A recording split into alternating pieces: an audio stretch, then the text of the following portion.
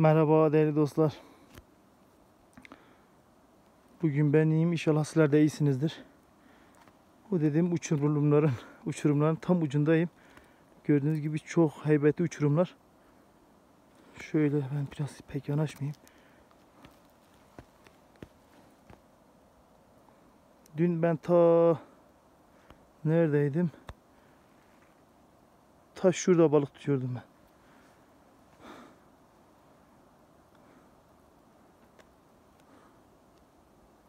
Yani öyle bir zirvedeyim ki bütün bölgeye hakim bir zirve. Bütün her yeri görebiliyorum ben buradan. Şöyle karşıdaki dağlarda aşağısına baktığımız zaman gerçekten çok korkunç bir manzara var.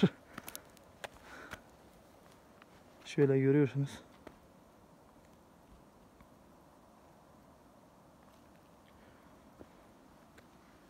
Yani şöyle yazın ayının barındığı bir yer bura. Aylar özellikle burada oluyor. Şöyle buralar pek insan uğramadığı için yabani hayvan yeridir bura. Görüyorsunuz.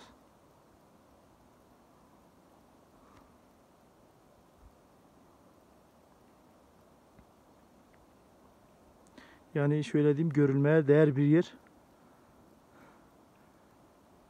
Bundan sonraki video inşallah kilisede olacak. Kilisede çok güzel yerler var. Orayı da size göstermek istiyorum. İnşallah nasip olursa oraya da gideceğim.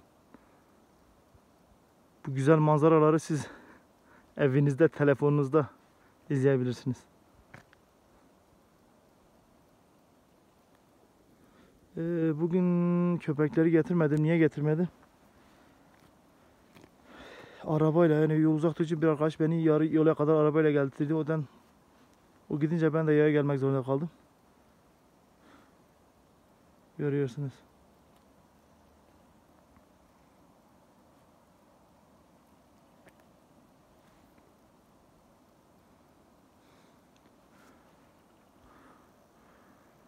Bakın köprüyü görüyorsunuz. Ben dün o köprünün üstünde balık tutuyordum.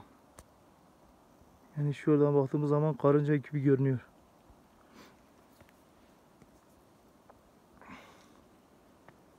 İnşallah daha güzel videolarla karşı, karşılaşacağız. Daha güzel yerler çekeceğim. Yani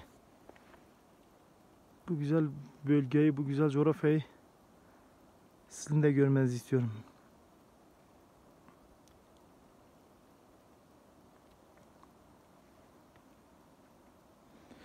Şu an çok uçurumun, uçurumun ucundayım. Pek aşağıya bakamıyorum. Vay çok korkunç. Ben biraz bende de yüksek korku, yükseklik korkusu olduğu için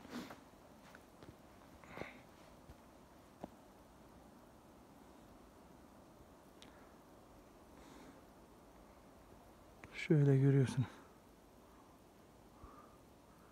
Karların olduğu yere geldik.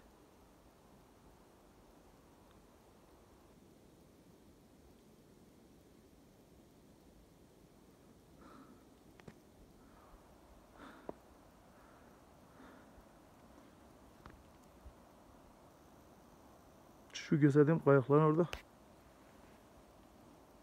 Şurada bakın. Ben bir kurt yuvası görmüştüm orada. İlkbaharda kurt yuvasına denk gelmiştik. Yani içinde barınıyordu. Muhtemelen gittiğimizde gitmişti.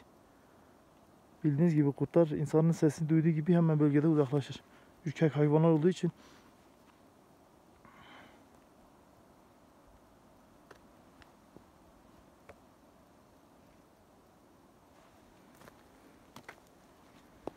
Yani sloganın beli bence tavsiye ediyorum.